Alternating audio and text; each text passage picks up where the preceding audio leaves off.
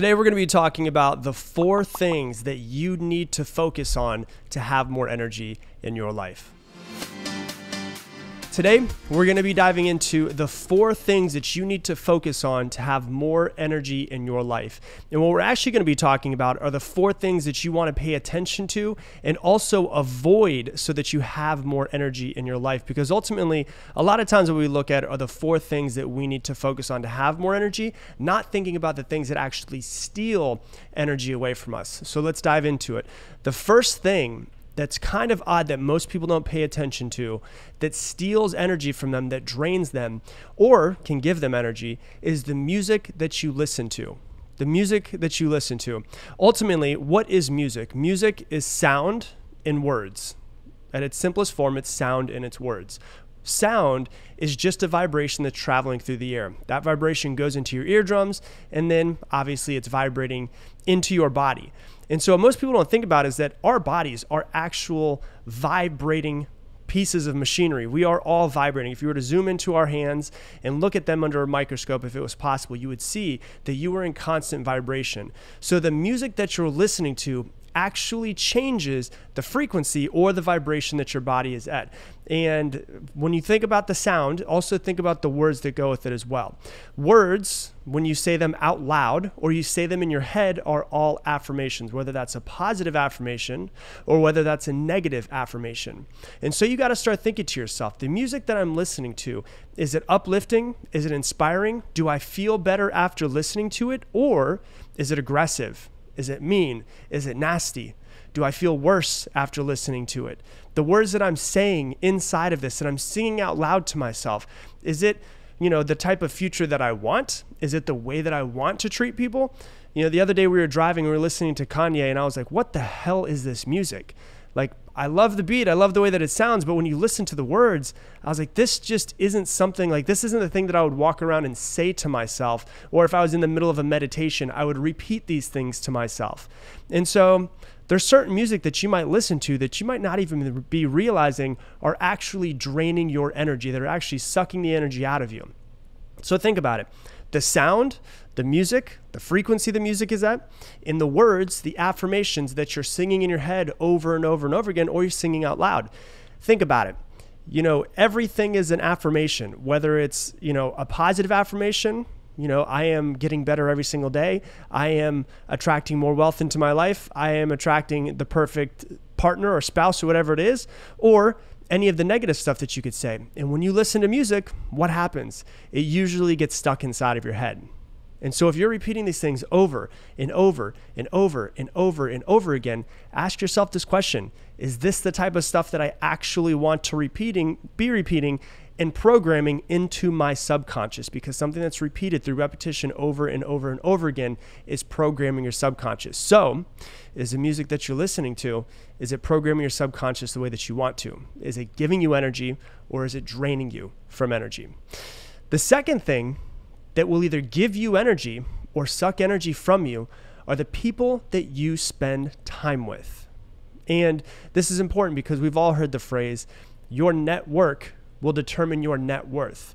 You know, if they say that pay attention to the five people that you spend the most time with.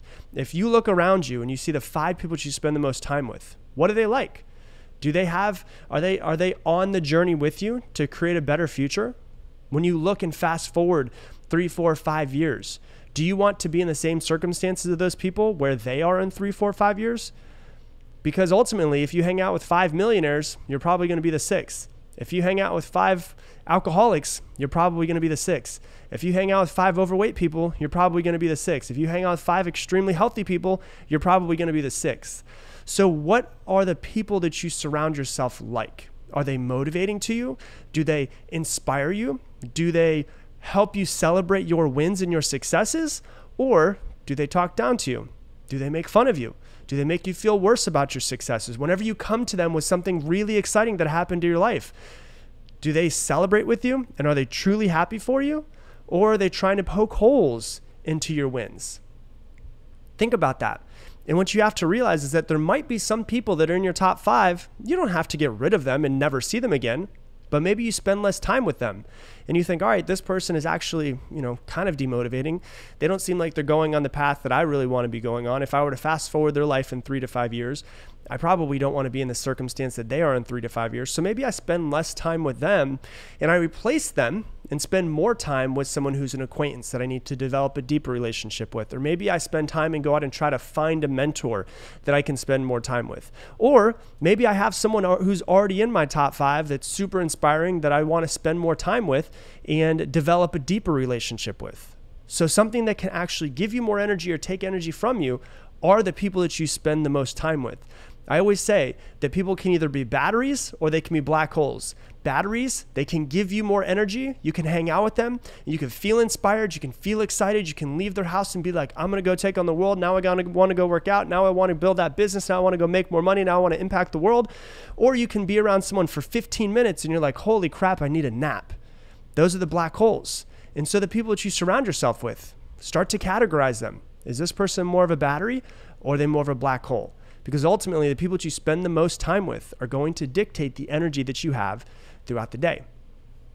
That's number two. Hey, if you're enjoying this video, do me a favor and hit that like button down below. It helps with the YouTube algorithm so that more people can see this message because it helps us get it out organically. So hit that like button, and I appreciate you. The, set, uh, the, the third thing that actually gets into your subconscious that you might not be spending a whole lot of time thinking about are all of the advertisements and the commercials that you see and hear and read every single day. You know, if you're watching TV and you happen to see an ad that pops up and you're not even paying much attention to the ad, but it says, Hey, you know, do you ever feel tired at 4 p.m.? And you're like, Oh my God, yeah, of course I feel tired at 4 p.m. Because we all know those big pharma ads that ask you the most generic questions. You know, do you ever go pee once a day? Oh shit, yes, I do. Something wrong with me? Right? You got to start thinking about that. And they're like, well, if you go, you know, have to go pee more than two times in a day, or you have to take a nap at four o'clock, you might have X, Y, Z. And you hear that and that goes into your subconscious. And now your subconscious starts to think, maybe there's something wrong with me. Maybe I do have this disease. Maybe I do have this disorder. And you have to be very, very uh, conscious of what you let into your ears, what you let into your eyes, what you let into your mind, because ultimately everything comes in through to your subconscious, from your conscious mind to your consciousness. And then it's not it's automatically stored away as true. There's no part of your subconscious mind that says, is this true? Is this not true? It's like a filing cabinet. It just stores it all away. And so you have to think of the ads that pop up when you're driving, the billboards that you see, the magazines that you read. When you're reading magazines and you're looking at Cosmo and seeing all of the fit women and you're looking at yourself and you're like, oh my God, I don't look anything like them. I'm fat. I'm ugly. They're so much prettier than me. They have so many, uh, so many, so much beautiful skin. My skin has issues. And then you start thinking, oh my gosh, these advertisements of these perfect, quote unquote, perfect people who are just all photoshopped makes me feel worse about myself. Maybe I should stop reading that magazine. Maybe I should stop going on that website. Hell, maybe I should stop following most of the people that I follow on Instagram that are all just completely photoshopped that make me feel worse about myself. So start paying attention to those because if you look at something that's an advertisement or somebody that's on Instagram and you look at them and you're like, oh, I wish I had her body and you look at them, now you start to feel worse about yourself. That that you just said in your head was an affirmation, was a negative affirmation. It's going to be repeated and it's going to go from your your conscious mind to your subconscious mind and stored. And now your subconscious mind just assumes that you have a terrible body or assumes that you have terrible skin or assumes that you're not good enough or smart enough or pretty enough or worthy of love. Whatever it is, you have to be very cognizant of what's going into your mind. So the ads that you see, the people that you follow on Instagram, the you know the places that you hang out that that you normally shop at, and you see the ads that they have. You have really really pay attention to some of those. And the good thing about when you're on Facebook or Instagram and you get hit with an ad, you can always report the ad and say, you know, this is inappropriate, this is not for me, so they don't show you those types of ads again. So you have to be very clear of those. Also, when you're watching TV, like I said, the ads that you're seeing there. If you're watching TV and you're seeing ad after ad after ad after ad after ad, maybe it's time for you to turn the TV off and open a book because the book's not going to have advertisements inside of it. Maybe you should start thinking about, oh man, I spend too much time watching TV. And now with all that, that TV I've been watching, but hit with ads after ads after ads after ads after ads. We were watching TV for the first time in the longest time because we don't, you know, we watch Netflix and so there are no commercials that pop up. And we were surprised that there's literally We were watching Shark Tank. It was like every other minute, it seemed like we were getting hit with ads and ads and ads and ads. And, you know, it's like a 30 minute show is actually only 22 minutes. So there's eight minutes of ads. Almost a third of what we're watching is just advertisements. And so you have to be very clear on the ads that you see and if they're the ads that you want to be seeing, or if you should divert your energy and your focus into something else because it can make you feel like something's wrong with you. So that's number three. And the fourth thing, which is very, very common for people to think about, but then also forget about, is the food that you eat. What type of food are you eating throughout the day? The one thing that I try to pay attention to is after I eat, every single time that I eat, I ask myself, how do I feel about an hour later? And that will give me a pretty good idea of if I should ever eat that thing again or not. Because ultimately, what I know is this we have 24 hours in the day. Everybody has 24 hours in the day. And if I'm tired most of the day because of the food that I'm eating, I need to change the food that I'm eating because billionaires and bums all get 24 hours. And if I'm going through my day at 60% energy, 75% energy, it's not enough to create the life that I want.